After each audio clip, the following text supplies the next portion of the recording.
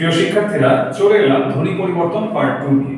আমরা পার্ট ওয়ানে কিন্তু শেষ করেছিলাম অপিনিহিতি পর্যন্ত এবং আজকে একদম প্রথমে আবার অপিনিহিতিটা রেখেছি তো অপিনিহিতি নিয়ে অল্প কিছু কথা বলব। এরপরে আমরা ক্রমান্বয়ে অভিশ্রুতি, অসমীকরণ ব্যঞ্জন দ্বিতীয়তা ব্যঞ্জন চ্যুতি এবং সবশেষে অন্তর্হতি নিয়ে কথা বলব। তো একদম প্রথমে অপিনিহিতির কথাটা একটু আবার বলছিলাম জাস্ট একটু একটু রিভাইজ দেওয়ার জন্য। অপিনিহিতির ব্যাপারটা আমরা কি দেখেছিলাম? সেটা হচ্ছে পরের ই বা উকারকে আমরা কি দেখছিলাম?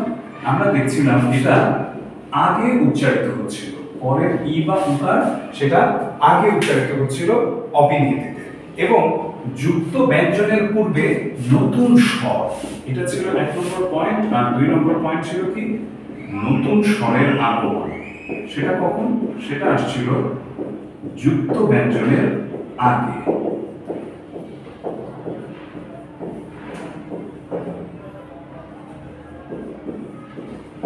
যুক্ত ব্যঞ্জনের পূর্বে। এবারে আমি একটা উদাহরণ দিই, তাই না?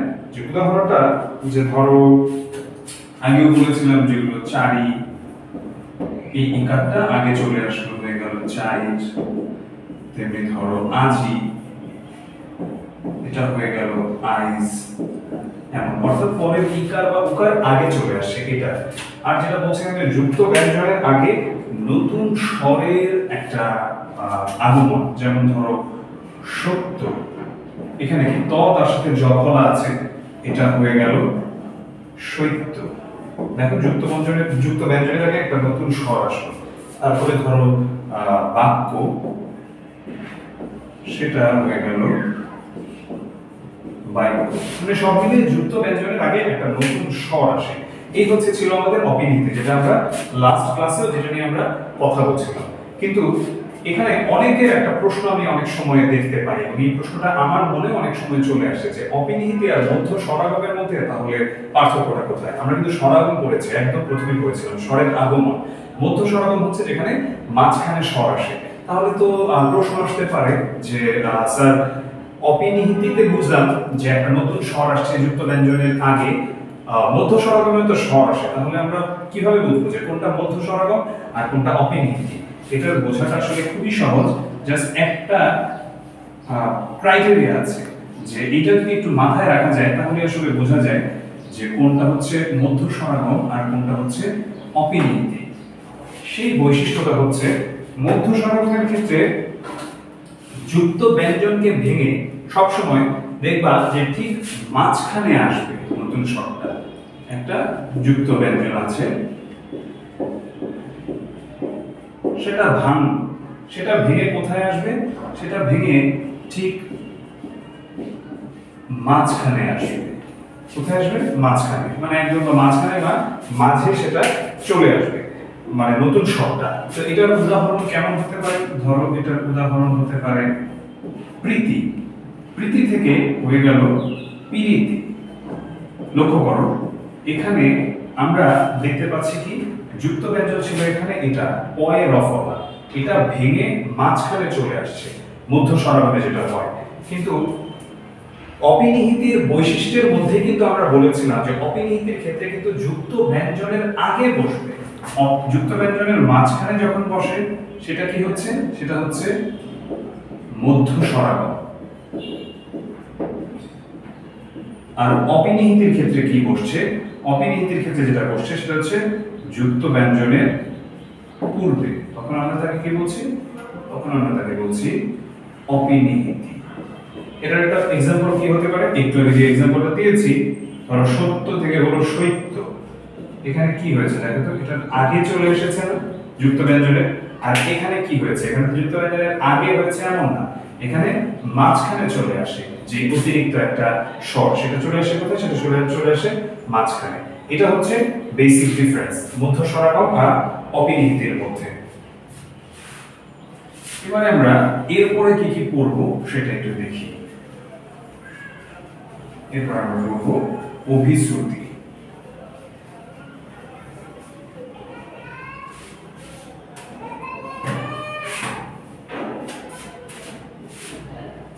অভিশ্রুতির ক্ষেত্রে আমরা একটা টেকনিক মনে রাখতে পারি, সেটা হচ্ছে অন্তস্থ এটা যুক্ত যে শব্দগুলো আছে, সেই শব্দগুলো কি হয়ে যায়?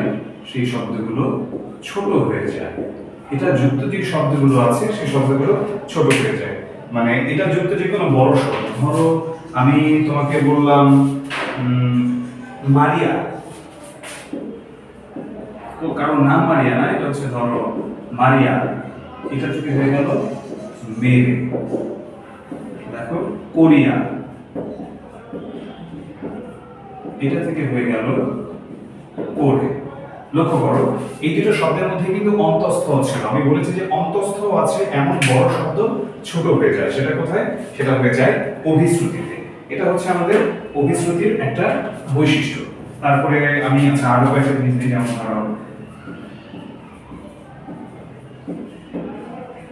জামিয়া, সেখান থেকে হয়ে গেল যে কিংবা বলতে পারি ধরো বলিয়া সেখান থেকে হয়ে গেল বলে। ধরো আমরা এখন শুনি না, ভাবিয়া করিও কাজ, করিয়া ভাবিও না। এই যে ভাবিয়া, এটার অভিশ্রুতিটা কি হবে? ভেবে। করিয়া, এটার অভিশ্রুতিটা কি হবে?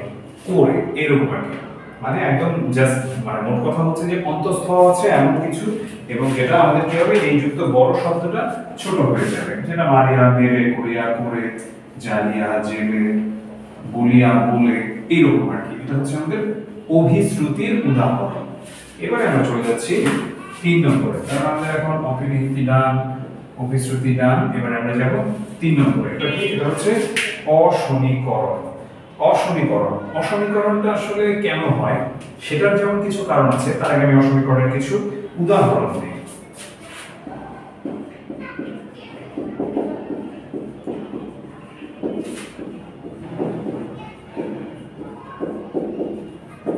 এত ভালো বৃষ্টি পেল যে একদম টপ টপ করে বৃষ্টিগুলো আমরা ঘিরে ফেললাম।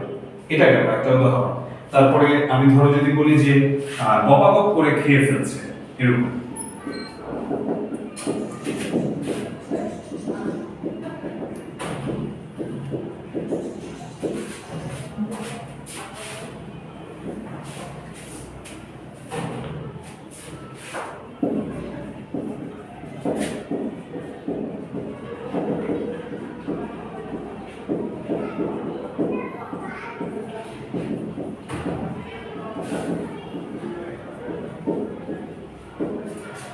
দেখো, এখানে একটা কমন জিনিস আছে, তোমরা দেখতে পাচ্ছ। জিনিসটা একটা সন্ধির মতো মনে হচ্ছে যে আমরা দেখতে পাচ্ছি এখানে মানে একটা সমীকরণ দেখতে পাচ্ছি। এটার নামটাও যদিও অসমীকরণ। এখানে আসলে যেটা হচ্ছে যে একই শব্দের পুনরাবৃত্তি আমরা দূর করছি। ধরো, আমি যদি বল- বললাম যে গপ গপ করে গরিব বাচ্চাটা খাবার খাওয়ার সাথে সাথে গপ গপ করে খেয়ে ফেলল। এটা না বলে আমি যদি বলি গপাগপ করে খেয়ে ফেলল। এটা কিন্তু শুনতে সুন্দর শোনায়। তেমনি আমরা ধরো বললাম যে ওখান দিয়ে চল চল না বলে, যদি বলি যে চলাচল, কিংবা ধরো যেটা বলেছিলাম একদম প্রথমে যে টপ টপ না বলে, যদি বলি টপাটপ অর্থাৎ এখানে আমরা দুইটা জিনিস দেখতে পাই। একটা হচ্ছে কি হয়? একটা হচ্ছে শ্রুতি মাধুর্য বৃদ্ধির জন্য অসমীকরণ ঘটে। মানে শব্দের শ্রুতি মাধুর্য, অর্থাৎ শব্দটাকে শুনতে যেন আরও সুন্দর শোনায়, এটার জন্য কি হয়? এটার জন্য দরকার পড়ে এই অসমীকরণের। এবং এই শ্রুতি মাধুর্যতার পাশাপাশি আরেকটা জিনিস আছে, সেটা হচ্ছে একই শব্দের পুনরাবৃত্তি দূর করে।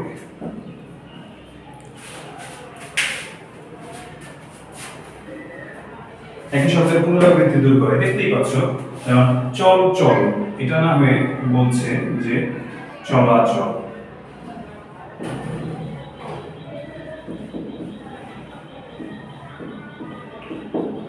একটা হচ্ছে এখানে শ্রুতি মাধুর্য শুনতে সুন্দর শোনায়, আরেকটা হচ্ছে শব্দটার পুনরাবৃত্তি দূর করে, অর্থাৎ শব্দটা বারবার যাতে না আসে একই শব্দ এই জন্য আমরা ধপ ধপ না বলে বলছি, ধপা ধপ, গপ গপ না বলে বলছি, গপা গপ, টপ টপ না বলে বলছি, টপা টপ, চল চল না বলে বলছি, চলাচল। আশা করি তোমরা বুঝতে পেরেছ, এবং কি কারণে হয় অসমীকরণ?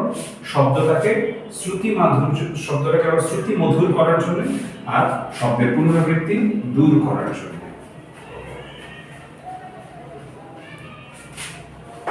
এর মধ্যে দিয়ে শেষ হয়ে গেল আমাদের অসমীকরণ। এবার আমরা দেখব ব্যঞ্জন দীপ্ততা ব্যঞ্জন দীপ্তটা আসলে নাম শুনেই বোঝা যায় দীপ্ত মানে দীপ্ত মানে হচ্ছে একটা জিনিস যখন দুইবার হয় বা ডাবল হয়, সেটা হচ্ছে আমাদের বৃত্ত আর ব্যঞ্জন দিয়ে আমরা বুঝছি যে এটা ব্যঞ্জন ধ্বনি বা ব্যঞ্জন বর্ণ জাতীয় কিছু আসলেই তাই।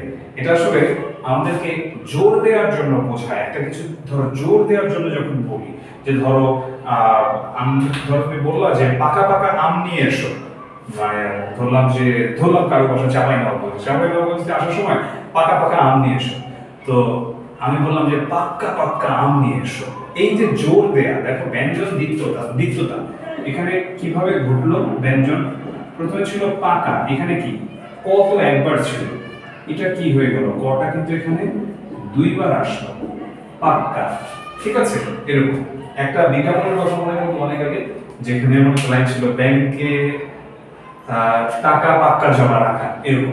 মানে মোট কথা এটা হচ্ছে একটা জিনিসকে জোর দিয়ে বলার জন্য। ধরো আমি বলি না যে সকাল সকাল উঠে পড়িস আমরা খেলতে যাব। জোর দিয়ে যদি বলি, যে একদম সকাল সকাল চলে আসিস এইরকম এটা হচ্ছে ব্যঞ্জন দ্বিত্বতার উদাহরণ। খুব সহজ জিনিস। ব্যঞ্জন দ্বিত্বতা আসলে নাম দিয়েই বোঝা যায় যে ব্যঞ্জন দুইবার আসছে। সকাল, এরকম। তারপরে ব্যঞ্জন দ্বিত্বতার আরও কিছু উদাহরণ দেয়া যেতে পারে তোমাদেরকে। ধরো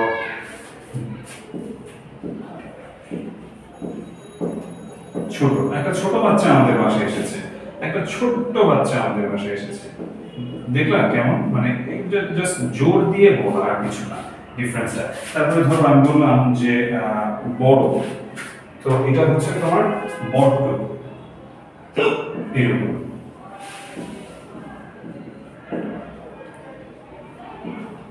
এরকম। তারপরে এটার এক্সাম্পল হতে পারে কাঁচা। এটা আমরা শুনে কাঁচা কাঁচা। ফল নিয়ে এসেছে এমন কিছু একটা। এটা হচ্ছে সহজ কথায় যেখানে আমরা দেখতে পাচ্ছি একটা ব্যঞ্জন এভাবে রিপিট করছে, অর্থাৎ একই ধ্বনি আবার আসছে। চ, দুইবার আসলো। ক, দুইবার আসলো। এখানে ক, দুইবার আসলো। এখানে ট, দুইবার আসলো। এখানে যদি আমি ডয় মানে ডয় বিন্দু র যদি আমি ড দিয়ে জিনিসটাকে ভেবে নিই, ড, দুইবার আসলো।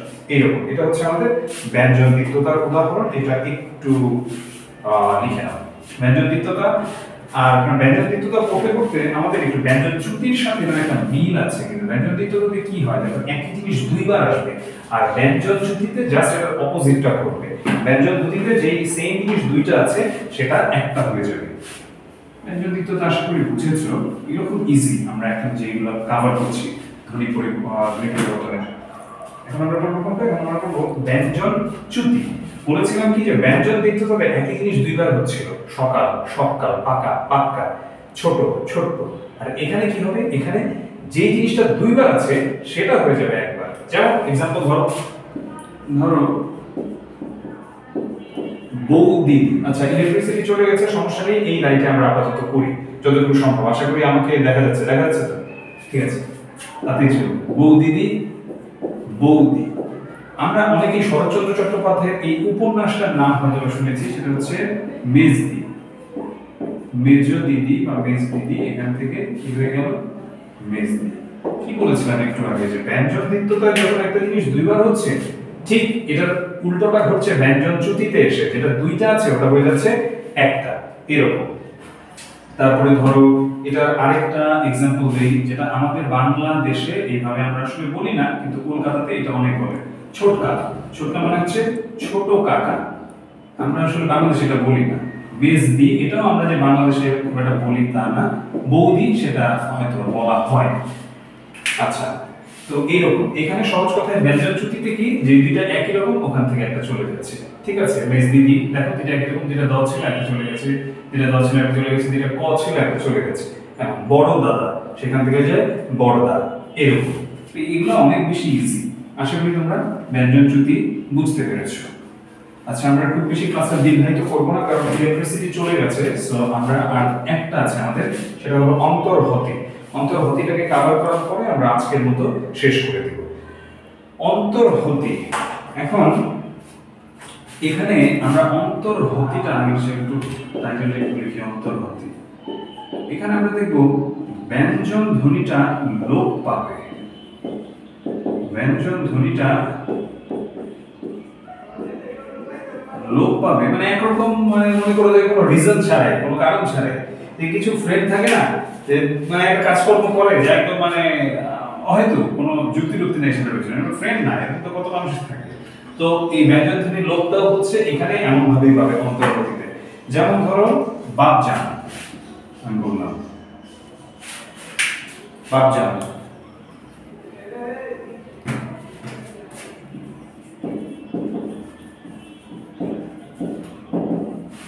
সেটা হয়ে গেল বাজার দেখো এখানে কি ছিল? প। প তো একটা ব্যঞ্জন ধ্বনি, এটা লোপের এরকম। তারপরে ধরো এরকম আরও উদাহরণ তোমাদেরকে আমি দিতে পারি, যে ফাল্গুন। ফাল্গুন নামে আজ থেকে বহু বছর আগে ঢাকায় একটা লোকাল বাস ছিল, মনে করব তাহলে আমরা যখন বলছি ফাল্গুন, আবার এটাই কিন্তু হয়ে গেল কেমন? এটাই কিন্তু হয়ে গেল ফাল্গুন। রবীন্দ্রনাথের কিন্তু গান আছে ফাল্গুন হাওয়ায় হাওয়ায় তো ফাল্গুন শব্দটা আমরা অনেক শুনতে পারি, অনেক শুনতে পাই। কবিতাতে অনেক বেশি পাই, গানেও পাই। ওরে ভাই ফাল্গুন লেগেছে বলে বলে তো ফাল্গুন এই শব্দটা হচ্ছে আমরা এখানে দেখতে পাই। এবং এখানে কি বললাম যে ব্যঞ্জন ধ্বনিটা মানে একদম কোনো কারণ ছাড়াই ওর কোনো লজিকই নাই। বা একদম বেহুদা, এখান থেকে হচ্ছে লোপ পাবে বা এখান থেকে চলে যাবে বা ওর মানে কি বলব, যে একদম এখান থেকে হত্যা হবে। এরকম এইভাবে মনে রাখতে পারো। অন্তর্হতি আচ্ছা মানে এখানে একটা ব্যঞ্জনের হত্যাকাণ্ড হচ্ছে রীতিমতো হচ্ছে একদম বেহুদা হুদাইও চলে যাচ্ছে এখান থেকে। এরকম বাপজান কি হয়ে গেল? বাজান, ফাল্গুন থেকে কি হয়ে গেল? ফাল্গুন। তো এরকম আমরা আরেকটা বলতে পারি, ইন্দুর থেকে ইঁদুর তো এই হচ্ছে আমাদের মোটামুটি অন্তর্হতির এক্সাম্পল যেখানে ব্যঞ্জন ধ্বনিটা লোপ পায়, ঠিক আছে? ব্যঞ্জন ধ্বনিটা কেন লোপ পায়? ব্যঞ্জন ধ্বনিটা লোপ পায় কোনো কারণ ছাড়া। তাহলে যদি আমরা একটু সামারাইজ করি, আমাদের আজকের একদম প্রথম থেকে তাহলে অন্তর্ভুতির ক্ষেত্রে আমরা কি দেখলাম? অন্তর্ভুতির ক্ষেত্রে আমরা দেখলাম যে এটা লোপ পাবে কোনো কারণ ছাড়াই। বাপজান বাজান এরকম। ব্যঞ্জন শ্রুতিতে কি ঘটবে? একই রকম দুইটা আছে, ওখান থেকে একটা চলে যাবে। বৌদিদি, বৌদি বড় দাদা বড়দা, ছোট কাকা ছোট কাকা এরকম। ব্যঞ্জন দ্বিতীয়তাতে কি হবে? ব্যঞ্জন দ্বিতীয়তাতে জোর দেওয়ার জন্য কোনো একটা ব্যঞ্জন বর্ণ যেটা একবার আছে, সেটা দুইবার বসে। পাক্কা পাক্কা আমা সকাল সকাল উঠে পড়ো। এরকম অসমীকরণ। অসমীকরণে আমরা কি দেখলাম? শব্দকে শ্রুতি মধুর করার জন্য এবং একই শব্দের পুনরাবৃত্তি দূর করার জন্য এটা হয়ে থাকে। অনেকটা সন্ধির মতো সেটা। দেখতে। কেমন? টপ টপ থেকে টপা টপ গপ গপ থেকে গপা গপ। এইরকম। এবং আমরা সবার প্রথমে যে যেটা করেছিলাম অভিশ্রুতির কথা যদি মনে করি, সেখানে অন্তস্থ যুক্ত কোনো বড় শব্দ ছোট হয়ে যাচ্ছে। করিয়া করে, বলিয়া বলে, ভাবিয়া ভেবে এরকম। একদম সহজ থেকেই বোঝা যায়। আর অপিনীতি ক্লাস ক্লাসে বলেছিলাম, পরের ইকার বা উকার আগে উচ্চারিত হয়, আর হচ্ছে যুক্ত ব্যঞ্জনের পূর্বে নতুন করে স্বর আসে। যেমন বাক্য বাক্য, সত্য থেকে, সত্য, সাধু থেকে সাউদ এরকম। সাধু থেকে সাউদটা কি হলো সাধু। পরের ইকার পরের ইকার উকারের পরের উকার ছিল, সাধু। হয় সাথে একটা উকার ছিল, এটা আগে উচ্চারিত করল এবং যুক্ত ব্যঞ্জনের আগে কি বললাম যে যুক্ত ব্যঞ্জনের আগে নতুন স্বর আসে, যেমন ধরো বাক্য, ক, জ ফলা যুক্ত ব্যঞ্জন ছিল, তার আগে একটা নতুন স্বর আসলো হর্ষ তো এই হচ্ছে মোটামুটি আমাদের আজকের ধ্বনি পরিবর্তনের ধ্বনি পরিবর্তন পার্ট টুতে এই ছয়টা অংশ, যেটা নিয়ে আমরা কথা বললাম। ইনশাআল্লাহ ধ্বনি পরিবর্তন পার্ট থ্রিতে আমরা ধ্বনি পরিবর্তন নিয়ে বাকি যা যা আছে, সবকিছু কাভার করার চেষ্টা করব। সবার জন্য অনেক অনেক শুভকামনা থাকবে